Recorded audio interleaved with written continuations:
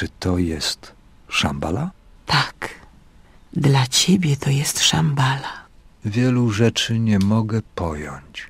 Czy moja wędrówka tutaj się kończy? Nie, Teni. Ty i moc, którą nosisz, jesteście nierozłączni. Jej wędrówka jeszcze nie dobiegła końca, zatem twoja też nie. Proszę opowiedz mi o tej mocy. Pochodzi z gwiazd. Była nieskończenie mądrzejsza niż nasi przodkowie, ale oni mieli coś, czego jej brakowało. Ciało, wrażliwość, radość i ból, cykl narodzin i śmierci. Chciała cierpieć i umierać? Moc nie umiera Teni, ale może dzielić to odczucie z tym, kto ją nosi. Co się stało, gdy dotarła na ziemię? Znalazła sobie ciało, w którym mogłaby zamieszkać? Nie. Czekała we wnętrzu kryształu, aż odkryło ją małe plemię wyspiarzy. Moc dała im wiedzę. I co ważniejsze, głód odkryć. Opuścili wyspę i ruszyli w podróż po świecie. A czy mocy udało się zrealizować swoje plany? Tak, w końcu jej się udało. Sam jesteś tego dowodem. Ale ona nie prosiła, czekała, aż ktoś ją zaprosi. A kiedy tak czekała, niektórzy wyspiarze żądni większej wiedzy, niż moc chciała im udzielić, znaleźli sposób, by rozbić kryształ i podzielić moc, która była w nim ukryta. Światło i ciemność. Chaos i porządek. Dwa przeciwieństwa. Dwie połówki mocy walczyły ze sobą. Ludzie podzielili się na dwa obozy i wielu utraciło życie. W końcu wyznawcy światła zwyciężyli. Co było potem? Aby zapobiec wojnie, niektórzy ludzie zawieźli światło z powrotem na wyspę, gdzie je znaleziono. Przybyli tutaj i wybudowali szambale. A pozostali zatrzymali mroczną połowę mocy? Tak, uwięzili ją i zakopali. Potem osiedlili się na wyspie, którą nazwali Atlantydą. Ale nie mieli już mocy. Mieli jej pozostałość. Kryształ rozbito na tysiące kawałków, z których każdy zawierał część pamięci mocy. Mieszkańcy Atlantydy użyli kryształów, żeby stworzyć wspaniałą cywilizację, ukrytą przed resztą świata. I ciągle tam są? Nie. Rozproszyli się dawno temu, gdy ich wyspa zatonęła w otchłaniach oceanu. Jak do tego doszło? Niektórzy z nich, chcąc zapanować nad światem, odkopali mroczną połówkę mocy i uwolnili niszczącą siłę. Pewien człowiek, twój przodek Set, wyruszył na poszukiwanie światła i wchłonął je w siebie. Razem udało im się pokonać ciemność. No, to dowiedzieliśmy się wielu ciekawych rzeczy na temat Atlantydy i Seta, naszej poprzedniej, że tak powiem, postaci, którą kierowaliśmy. Przybyłem, choć nie rozumiem dlaczego. Jesteś tutaj, ponieważ światło usłyszało wołanie, zaczęło się budzić i poprowadziło cię drogą. Czy światło było uśpione? Tak. Po zatonięciu Atlantydy mieszkańcy Szambali bali się następnej konfrontacji między dwoma połówkami mocy. Dlatego obmyślili sposób, żeby uśpić ciemność. A co ze światłem? Jedna połówka nie mogła usnąć, jeżeli druga była aktywna. Były przecież połówkami jednej istoty, podobnie jak bliźnięta. Ciemność spała w swoim więzieniu, a światło wewnątrz kolejnych pokoleń szafarzy. Ty jesteś ostatni. Dlaczego? Dlaczego mam być ostatni? I dlaczego moc obudziła się ze snu? Twoi przodkowie wiedzieli, że pewnego dnia pojawi się znak, który przywoła moc do miejsca, z którego pochodzi. Podejrzewali, że ten znak musi zbudzić obydwie połówki mocy, dlatego poczynili wszelkie możliwe przygotowania. Co masz na myśli? Wybudowali drogę do Szambali i rozrzucili jej części w różnych miejscach, żeby tylko szafarz światła, który posiada kryształ, mógł nią podążyć. Dlaczego chcieli, żeby szafarz światła się tu zjawił? Tutaj można znaleźć drogę do miejsca, w którym uwięziona jest ciemność. Tam światło i ciemność muszą połączyć się w jedno, żeby moc mogła odpowiedzieć na wołanie. Dlaczego moi przodkowie, posiadając tak wielką wiedzę, nie połączyli dwóch połówek? Światło i ciemność muszą połączyć się same, żeby stać się jednością. Jedno musi wchłonąć i zdominować drugie. Zanim je rozdzielono, światło było górą. Tak musi pozostać. A co będzie, jeżeli to ciemność wchłonie światło? Właśnie tego obawiali się twoi przodkowie i właśnie dlatego uśpiono moc. Ale teraz musi nastąpić połączenie, a światło musi okazać się silniejsze. Dlaczego obie połówki nie połączyły się, gdy ze sobą walczyły? Ponieważ twój przodek Set, pierwszy szafarz, bał się, że ciemność pochłonie światło i zapobiegł połączeniu. Jednak teraz nadeszło wezwanie i nie mamy wyboru. Tym razem mocy nie da się uśpić. Ale co to ma wspólnego ze mną? Jestem tylko szafarzem światła. Moc przybyła w poszukiwaniu formy cielesnej Teni, by móc wypełnić swoje przeznaczenie. Dzisiaj tym ciałem jesteś Ty. Ty i światło jesteście nierozłączni.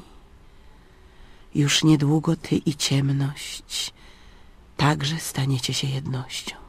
Co się wtedy stanie? Wypełnij swoje przeznaczenie Teni, cokolwiek to ma być. Tak, czyli mm, mamy po prostu e, wchłonąć ciemność i liczyć na łód szczęścia, że światło okaże się silniejsze. Super. um, ojej. E, Po kolei Kim jedziemy. jesteś? Byłam ostatnią królową Atlantydy Teni. Niestety nie potrafiłam przewidzieć tragedii, która od lat zagrażała naszej wyspie. Musiałam szukać schronienia w Szambali. Teraz spłacę swój dług, przynajmniej częściowo. Przecież mówiłaś, że Atlantyda została zniszczona dawno temu. Jak możesz tu teraz być? Nie ma mnie tu, przynajmniej nie do końca. Jestem wiadomością, która czekała na nadejście tego dnia. Kiedy ty odejdziesz, ja też zniknę. Co się z tobą stanie? To, co dzieje się ze słowami, gdy się je wymówi. No cóż, bardzo enigmatycznie, ale mm, już przynajmniej wiemy, e, ci, którzy nie, nie grali albo nie oglądali Atlantis, to wiedzą przynajmniej, któż to jest. Czy znasz człowieka, który pomógł mi dostać się tutaj? Strażnik kryształu był ostatnim z wielu. Chcę wiedzieć coś więcej. Kiedy przygotowywano się do tych wydarzeń tutaj w Szambali, powierzono kryształ pierwszemu strażnikowi, a od tamtej pory każdy kolejny strażnik przekazywał go swojemu uczniowi, trzymając się ścisłych instrukcji.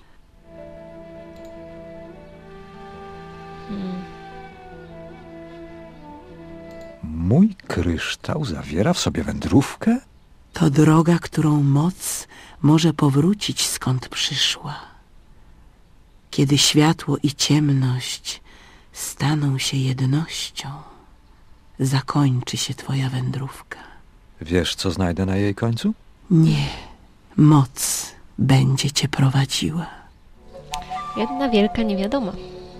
Ale musimy wypełnić swoje przeznaczenie. Jak mam rozpoznać ciemność? Poznasz ją, gdy stanie na twojej drodze.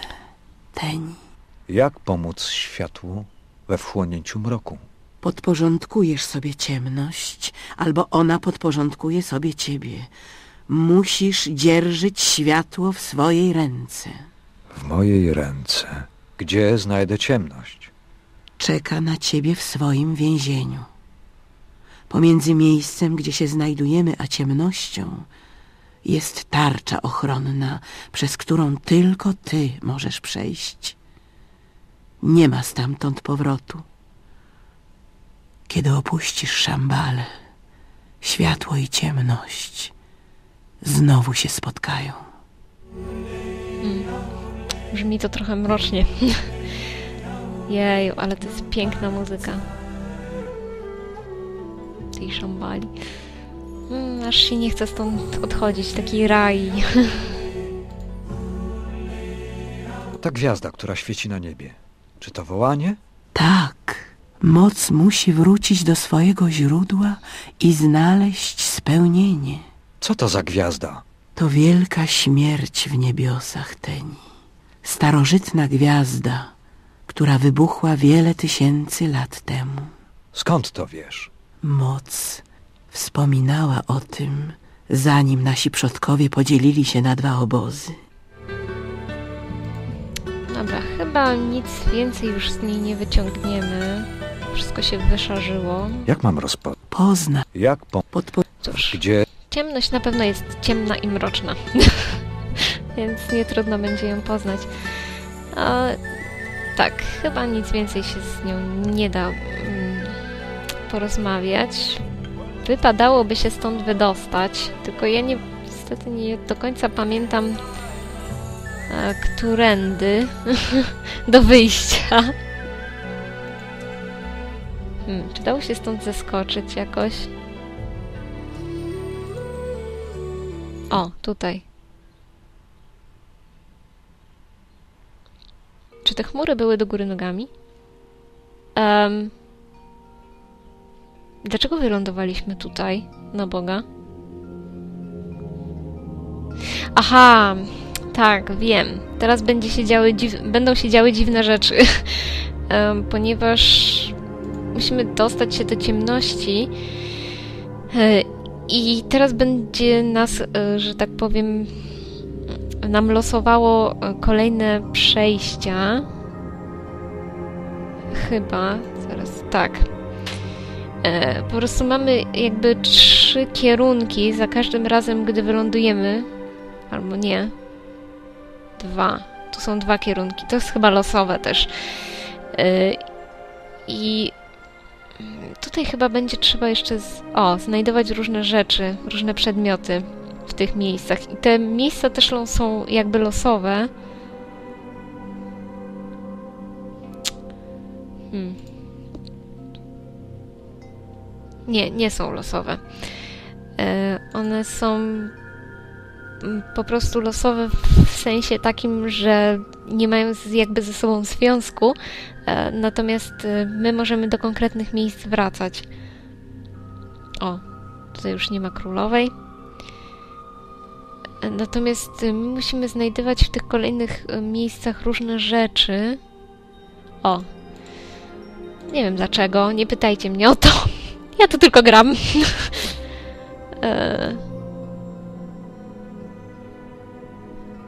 W każdym razie mm, szukamy głównie jednej rzeczy, która jest nam potrzebna. Z nimi nie da się. Żaden Bóg ci tego nie. nie podaruje. Nikt nie żyje tam wiecznie. O wow, nie wiedziałam, że z nimi się da porozmawiać. Jeszcze, ale dobra. O, tu już Nuady nie ma, nie ma jego córki w ogóle. um, nie wiem, w tę stronę powiedzmy. O, teraz jesteśmy na Yucatanie, w Shibalbie. Tutaj mamy tego łososia. W ogóle ciekawe, że e, do tych miejsc nie są dopasowane konkretne rzeczy, tylko one są po prostu losowe, bo łososia na przykład nie znajdowaliśmy w ogóle w Jukatanie. Tutaj mieliśmy nietoperza. No To jest naprawdę dla mnie jakieś takie dziwne i szalone, no ale e, trzeba się dostosować. Nie chcemy się cofać, chcemy iść do przodu. No, w którą stronę ja tu szłam? W tą. E, Teraz szłam gdzieś w tamtą chyba.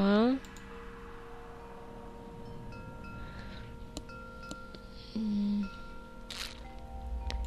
O, chyba ta gwiazdka będzie ważna. Tylko musimy wylądować w odpowiednim miejscu teraz.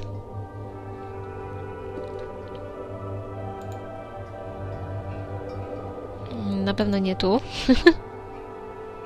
Ale szliśmy w tamtą stronę, teraz tu. O, perła. Świetnie.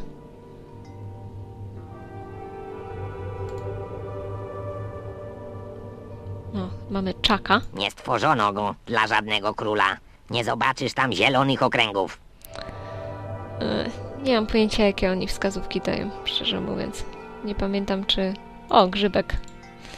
Grzybek halucynek. Akurat coś dla nas.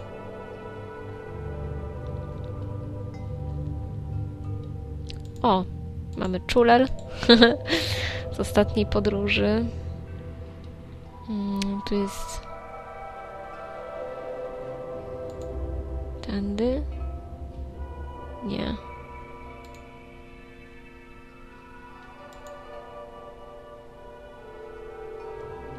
Oh my god. Się przestraszyłam. Nie skrywają go chmury, nie latają tam żadne stworzenia. Oni chyba opisują to miejsce, do którego zdążamy. Tak mi się coś wydaje.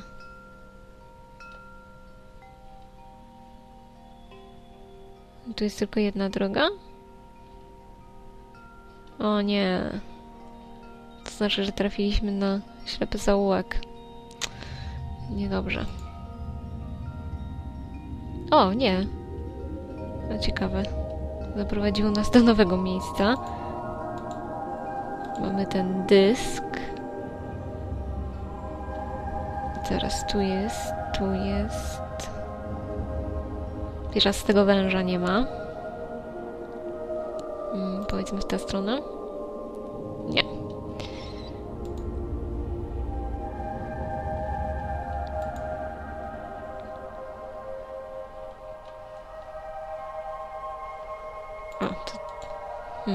Aha, to była ta laska druidów, y, czy coś w ten deseń.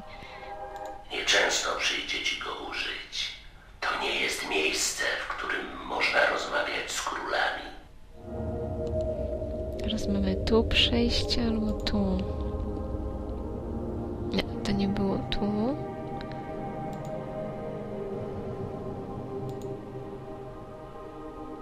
O! Dotarliśmy do miejsca, którym chcieliśmy się znaleźć. Przynajmniej z tego co pamiętam. I tutaj chyba trzeba było, o, gwiazdki użyć na, ok na oknie.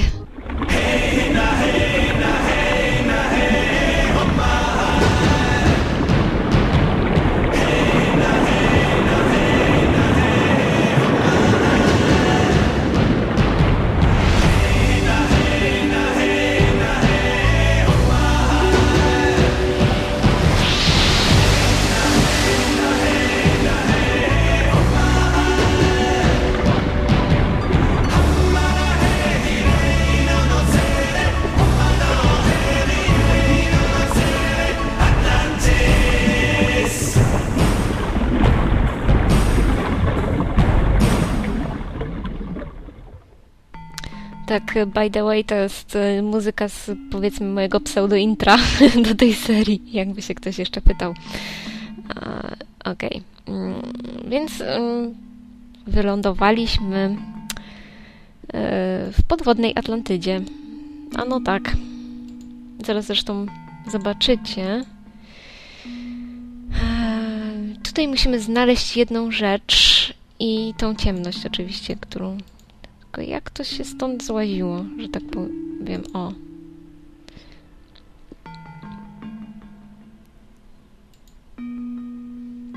Aha, to jest ten nasz pojazd, którym tutaj wylądowaliśmy. Mm, Tak naprawdę idę na ślepo, bo kompletnie nie pamiętam już tego rejonu. W ogóle zauważyliście, zrobił nam się jakby inny wskaźnik e, po środku ekranu. Mm. Tutaj może to być słabo widać, natomiast y, to jest właśnie mm, ta Atlantyda, która zatonęła w morzu podczas ostatniego grania, w ostatnią część, znaczy w pierwszą część. I to jest tak naprawdę te miejsca, które zwiedzaliśmy setem.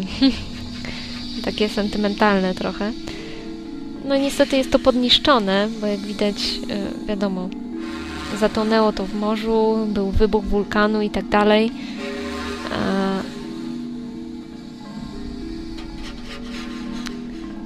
Natomiast... Hmm. Ja szukam tej jednej rzeczy, ale kompletnie nie pamiętam, gdzie ona była. Więc będziemy się trochę teraz miotać. Raczej ja będę się miotać. Jakieś nieprzyjemne dźwięki są.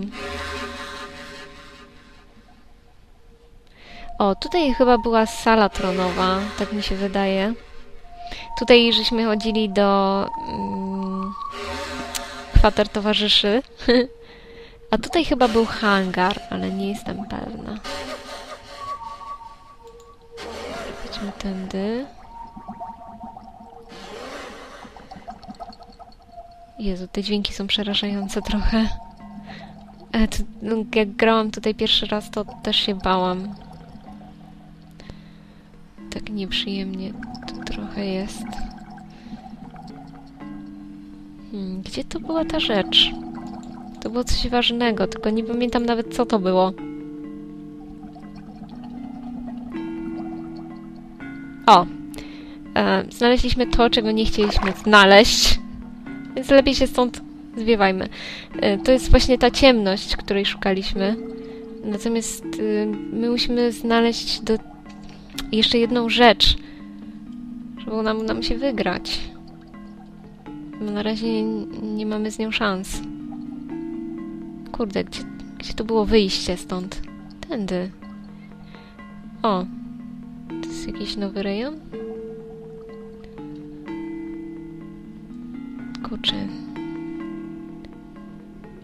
A tu? Było coś? O! To jest właśnie to, czego szukamy. To jest jakiś kryształ. Jak widzicie, on... y, nie da się go schować w ekwipunku. On będzie nam tutaj na ekranie wisiał, że tak to ujmę. W ogóle z czego to jest kryształ? Chyba ze statku jakiegoś rozbitego. I dzięki temu kryształowi będziemy mieli szansę w ogóle pokonać tą ciemność i ją wchłonąć, że tak to ujmę. Gdzie ona była? Gdzieś tutaj. Gdzie jesteś? Pokaż się.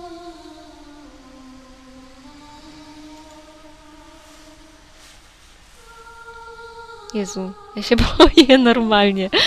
Nie wiem czego, ale się boję. Ach, gdzie ona była?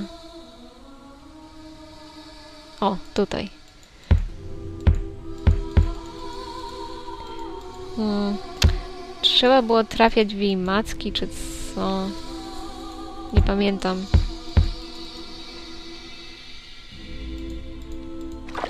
Au!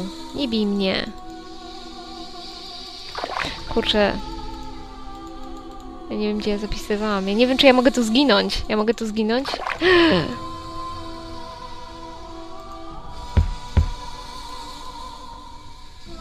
Hmm. Jak się to cholerstwo pokonywało? O! Wreszcie. Jedna macka poszła, druga macka poszła. Trzecia macka poszła.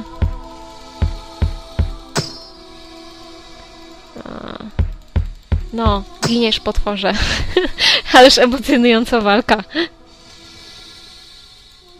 No i została jej... Au! O nie! Przeminęłam animację. O god, teraz mnie po prostu zjecie. Hmm. Hmm, czekajcie. Ja, ja... Przepraszam, ale ja chyba wczytam grę. Ojej. Tyle mamy zapisów? Uuu. Tu byliśmy w środku. Czy to jest początek? Tak. Dobra, to ja się cofnę do miejsca, gdzie walki z tym potworem i spróbuję tak zrobić, żeby, żeby tej animacji nie przełączyć, bo może ona będzie fajna i kogoś interesowała, więc za chwileczkę do Was wracam. Okej, okay, jestem z powrotem. Jeszcze raz e, walczymy z tym potworem, bo staram się to jakoś zrobić tak, żeby nie zaklikać tego za mocno. Ale jeszcze mamy trochę macek. O. No, została nam chyba ostatnia. Dajesz potworze. Okej. Okay. No i wchłonęliśmy ciemność. Była właśnie ta animacja.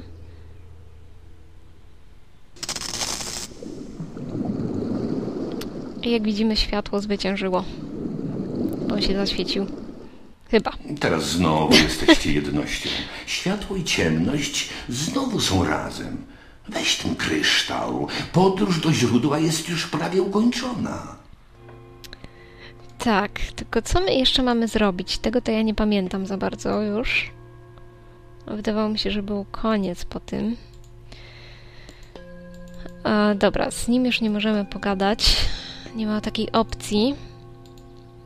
E, zaraz zobaczymy, co tu jeszcze możemy zrobić, bo nadal mamy kryształ.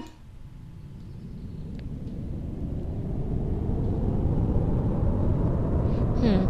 To wychodzi na to, że tak prawdę powiedziawszy, nie trzeba było zapisywać sobie tych e, kamieni, które dostawaliśmy w podróży, po każdej podróży, ponieważ one kompletnie do niczego się nie, nie przydawały.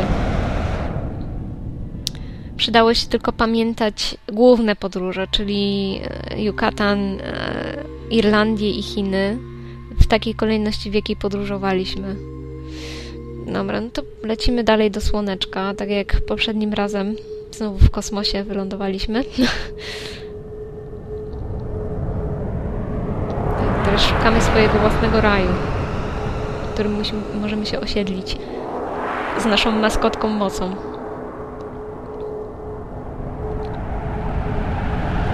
Dobra, to już widzieliśmy, to już to, to, to już też widzieliśmy. Teraz w stronę gwiazdy, czy czegokolwiek to jest. Mocno świeci. Mamy tą mgławicę. I tutaj powinniśmy być zdolni dalej gdzieś polecieć. Chyba.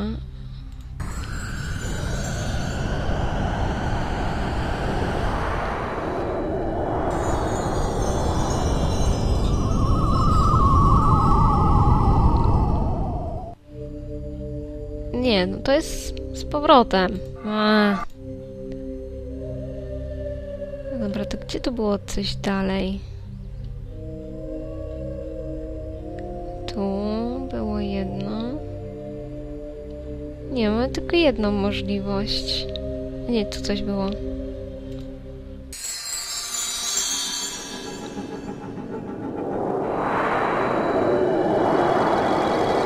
O god, jak czerwono.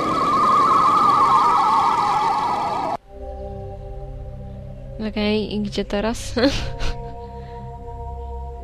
Tutaj?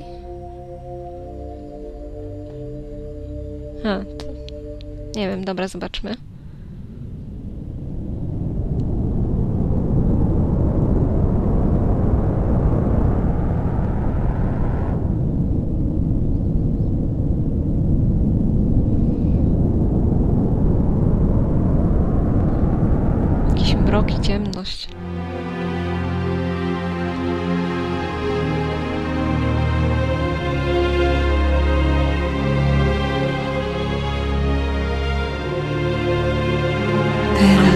Jesteśmy całością. Tak, to jest chyba nasze światło. Adam i Ewa.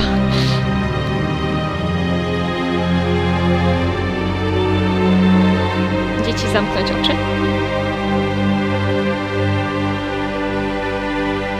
Światło i ciemność zrodziło sobie dziecko. A.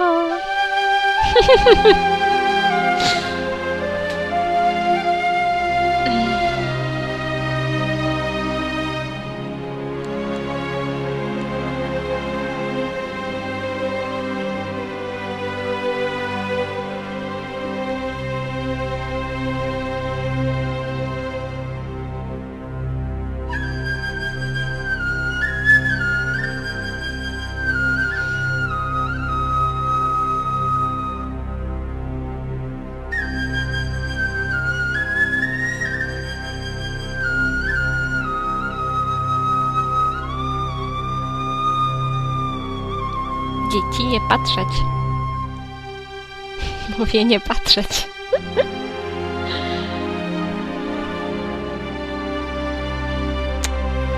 Tak, pięknie.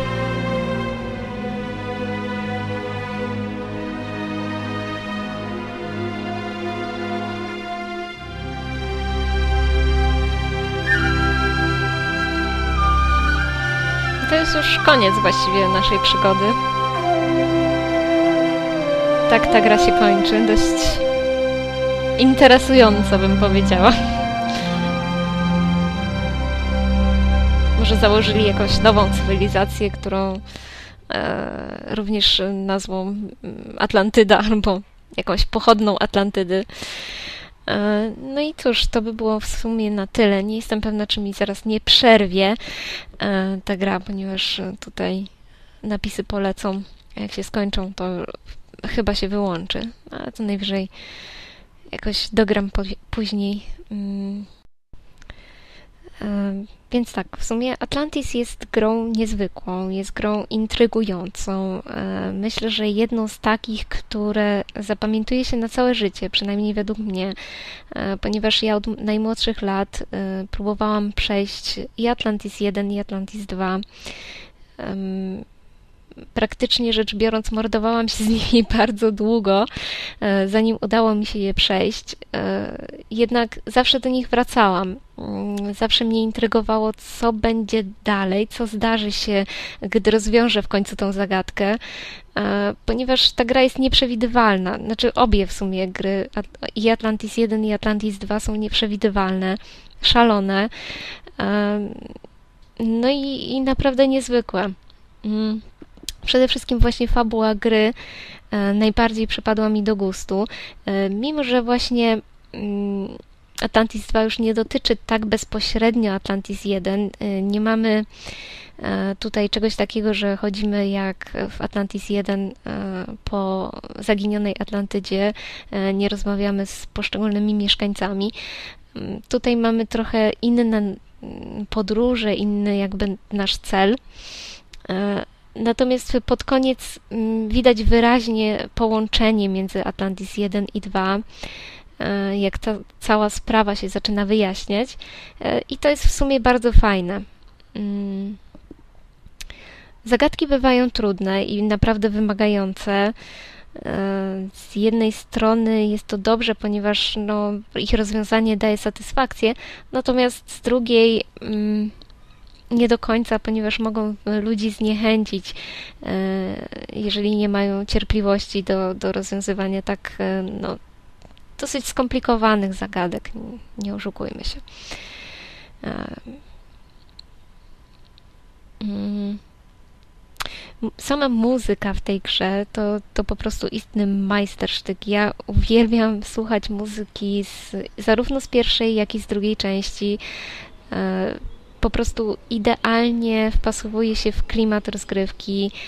Em, I praktycznie jak wracam do samej muzyki, e, słucham mm, jej powiedzmy gdzieś e, tak na boku, e, to jak przymykam oczy, to po prostu widzę wszystkie lokacje z Atlantis i e, zaraz cała gra mi się przypomina. To jest taki bardzo, bardzo e, miły element. Mm. Zakończenie jest może nieco dziwne. E, to znaczy, ono jest napełnione, wypełnione alegoriami, jakimiś mm, e, takimi. Mm, nie wiem, jak to powiedzieć. Zabrakło mi słowa. E, W każdym razie nie można brać go dosłownie, jak praktycznie całej gry. Trzeba mm, na własny rozum sobie przetłumaczyć niektóre elementy e, fabuły i, i to jest w sumie też fajne bardzo. Mm, Takie nieco szalone, ale fajne. Myślę, że każdy może sobie wymyślić własną e, historię, co, co autor miał na myśli, mm, tworząc tą grę. No i cóż, e, myślę, że to by było na tyle. E, Ja bardzo Wam dziękuję za czynny udział w let's playu. Dziękuję Wam, że komentowaliście, mm, że oglądaliście mm, ten let's play. Mam nadzieję, że przynajmniej część z Was udało mi się zarazić e, jakąś, nie wiem, chęcią przynajmniej do zagrania w Atlantis, zanim obejrzeliście ten let's play. No bo po obejrzeniu to już właściwie nie ma żadnej frajdy. E, No i cóż, to by było w sumie na tyle. E, Mam nadzieję, że Wam się podobało. Ym, No i zapraszam do kolejnych moich projektów. Za niedługo pojawi się coś nowego, już właściwie całkiem blisko. E, No i to tyle. Który raz już to powtarzam. Nie mogę zakończyć. Okej, dziękuję Wam i do usłyszenia w kolejnych projektach. Na razie, cześć!